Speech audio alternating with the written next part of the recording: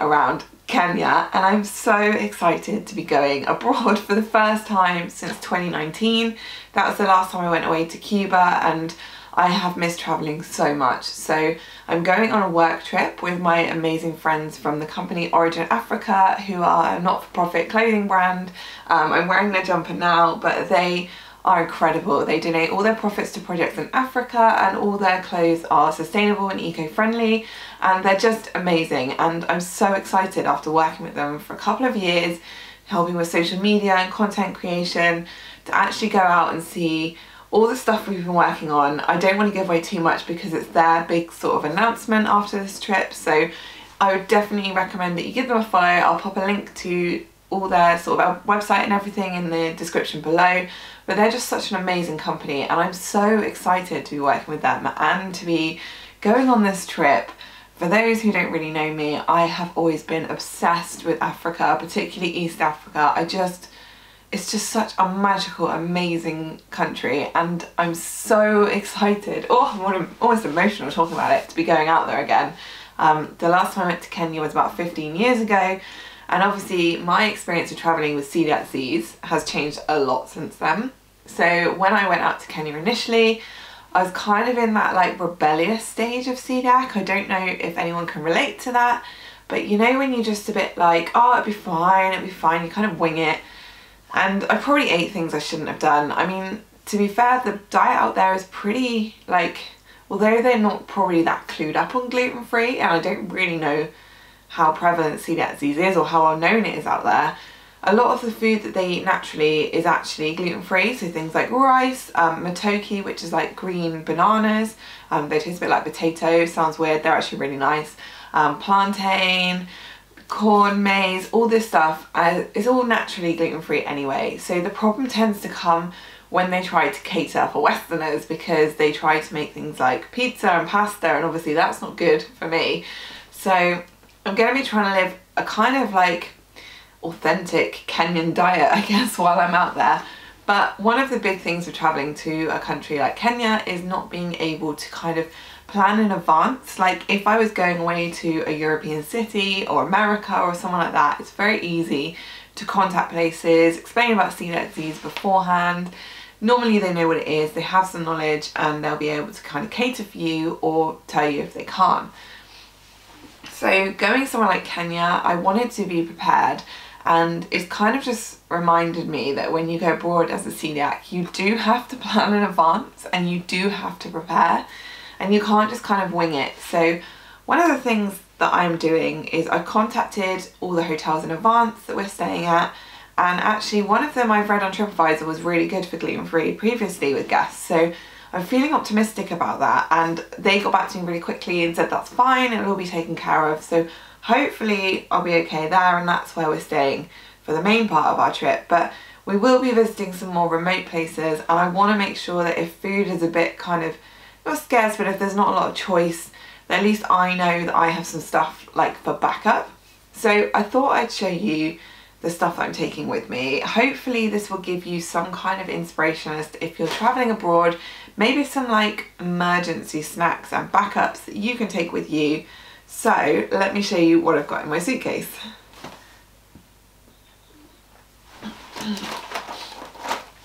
So I actually asked you guys on Instagram what you thought would be good things to take because I was feeling a little bit like I didn't want to just load up on loads of sugary things because I find that when I go abroad, if I take snacks with me, I end up just eating like cereal bars and biscuits all the time that I've brought with me while everyone else is eating food and I don't really want that. Like I find, I don't know about anyone else's celiac but I get cold sores really badly though, triggered by the sun, but they're also quite highly triggered when I eat a lot of sugar.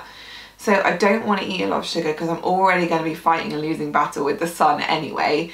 So I just wanted to make sure that I could kind of have some healthy-ish snacks. I know it's difficult because a lot of the sort of pre-packaged easy food does tend to be sweet, but I've kind of tried my best. I mean, mainly what I have is sweet stuff, but this is what I've got anyway.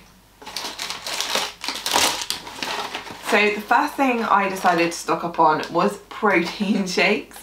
Now I do love a protein shake and I normally have them after the gym, but I was trying to think of things that would make me feel full that might be slightly more nutritionally valuable than say like a cereal bar and I thought protein shakes would be a good idea. Now I bought these off of the Myprotein website and it's actually a selection box because everything comes in these individual sachets. So these are whey protein shakes and they're all gluten free. I had a look on the site and there's no may contain, some of them do have um, malt extract in so those ones I'll be given to Steve. But most of the flavours are fine and ironically the one I picked up just now does have malt extract but I think it's the only one. So there's quite a mixture of flavours in here. So I've got things like, um, I've got chocolate, I've got golden syrup, which sounds very sweet. Um, I've got blueberry cheesecake, another blueberry cheesecake, chocolate mint.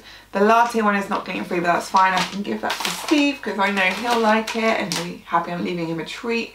So yeah, there's lots, it's a bit of a random selection. So you could get a big bag, but I thought these would be really handy because I could take a couple of these sachets maybe on the plane in my hand luggage um, and then the rest I can kind of just like shove into various cracks in my suitcase wherever they'll fit. But if you're bringing a protein shake, don't forget a protein shaker because I know if I shake these up in a bottle or they're so lumpy and it's just, it's not good. So I'm taking a shaker and this has got one of these wire balls in it. So it just stops um, it getting too lumpy. And actually I could probably shove a load of these in here. So one thing I will say is we have requested gluten-free meals on our flight. However, we had to make some last minute changes and now they're saying that we might not be able to request those meals. So I'm going to take this shaker bottle, not the water because I can get that on the plane, um, and a couple of these protein shakes with me as well as like some pre-made lunch. I'll probably film that as my next video so I won't bore you with that now but that will be to come and we can just keep our fingers crossed that I'm going to get some gluten-free food. Otherwise it's going to be a very long eight hours. So as well as protein shakes, I've also got a couple of protein bars. Now, I bought these Misfits protein bars in Sainsbury's and I'll show you them now if my camera would like to focus on them. Now these are so good. There's a peanut butter one and I think there's a hazelnut one. Honestly, these are the best protein bars. Like I don't normally like protein bars. I remember having a massive obsession with Quest bars at one stage, but now I don't really like them. I don't like the taste that you get with some of them, but these are insanely good. They're all gluten-free, they're plant-based, they've got 15 grams of protein, and they've got like basically no sugar, but they just taste like a chocolate bar. Like honestly, I have to stop myself eating all of these. I only got a couple because they're a bit pricier than the other things I bought, but I thought I might take them on the plane with me or they'd be a good kind of like backup treat, I guess.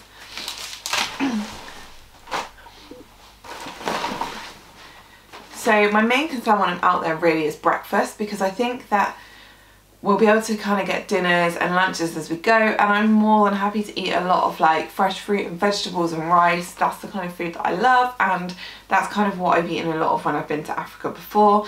And I tend to eat vegetarian because whenever I've eaten meat I have not had some great experiences with that. So I think given I have celiac and I have to be a bit more careful of like my gut anyway I tend to just go for like kind of simple plain but good foods anything that you can peel or wash um, avoiding things like salad if possible so yeah, so breakfast is the one thing where I wanted to make sure I had something to start the day. So someone suggested to me on Instagram porridge sachets and I was like, oh my god, that's such a good idea.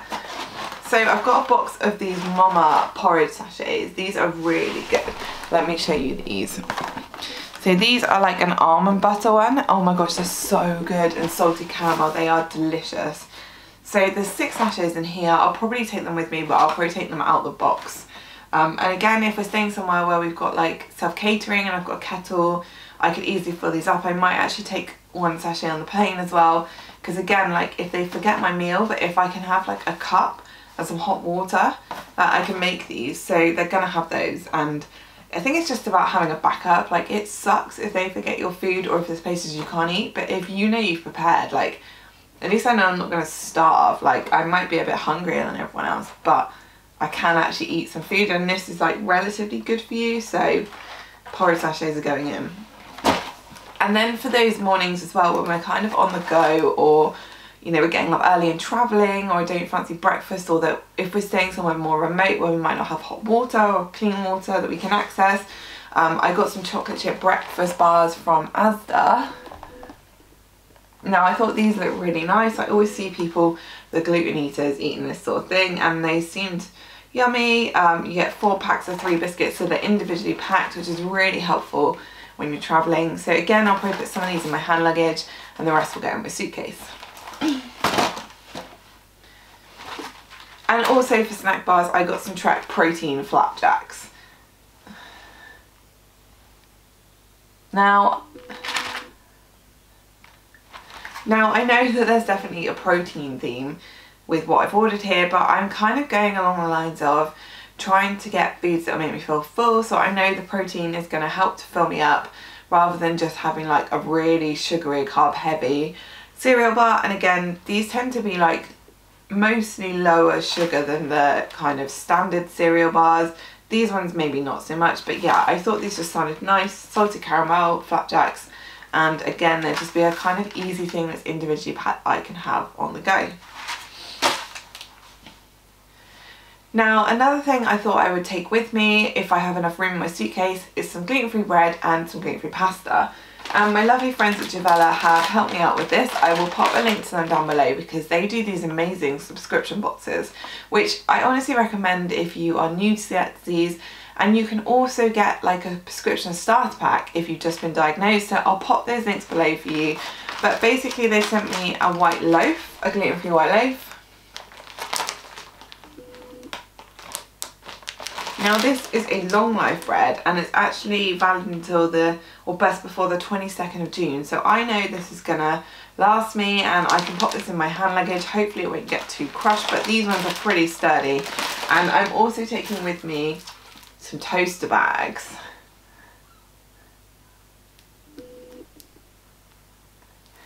Now as we have a shared kitchen at home, I use these all the time. They're amazing if you have disease and you live with people and you have to share toasters. You basically pop your bread in them, pop them in the toaster and your toast won't get any crumbs on it. But these I thought would be brilliant for if we do stay at a hotel which has got like a kind of breakfast spread. They tend to have those toaster machines where the bread goes through and it's like crumb central. So I thought if I can't eat anything else, if I've got some bread, I can pop it in a toaster bag, pop it on there and it should toast like the other toast but not get crummy. That is my plan anyway. And again, I think if we're staying anywhere self-catering and they've got a toaster, I wouldn't want to risk what's been in there before and it's very likely to be gluten. So this will just make sure that I'm keeping all my food completely safe.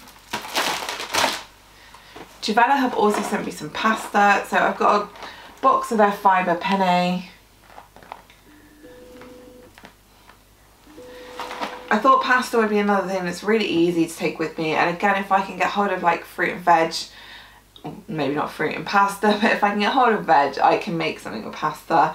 This is going to depend on how much room I have left in my luggage once I put my clothes in, but I think this would be just quite handy to have as a backup plan. Again, if we're staying somewhere a bit more remote, if I can make my own pasta then I think it's just going to give me that peace of mind that what I'm eating is safe. So I think this is quite handy if you are travelling especially if you know you're going somewhere self-catering. I definitely recommend taking something like this And that, my friends, is my gluten-free food in my suitcase. I hope this is helpful. I'm not sure how much of this I will eat or how much of it I'll even need, but I'd rather take it with me and not eat it and then be able to like share it with my mates as like a snack if we're, you know, hanging out in the evening, then not take it and just be like hungry and miserable. I've been there before and it's horrible and I just think it doesn't take up that much room. It's so much easier to prepare and it's definitely given me peace of mind to know that I can take the stuff on the plane and that I will have something there if they don't have my meal. So hopefully that will all go okay and I'm hoping in my next video that I'll be able to update you with that. Obviously if I don't post, I don't know what the Wi-Fi is going to be like so it may potentially be a little bit of a delay but I will be vlogging my entire trip and I can't wait to show you guys how I get on, what it's like in Kenya, what I eat and what it's like there as a celiac and I'm just so excited to go. So I'm going to go and actually try and fit all this stuff into my suitcase now I'd love to know if you have any tips or things that you take with you when you're travelling, anything that I might have missed that I can run into the shop and pick up tomorrow before I go because I'm pre-recording this video like two days before I fly. And yeah, next time I see you, hopefully I'll be in Kenya. Make sure you hit like if this video was helpful. Please subscribe to my channel. I try and bring out a new vlog every Saturday and lots of recipe videos in between. And I'll see you guys again soon. Bye!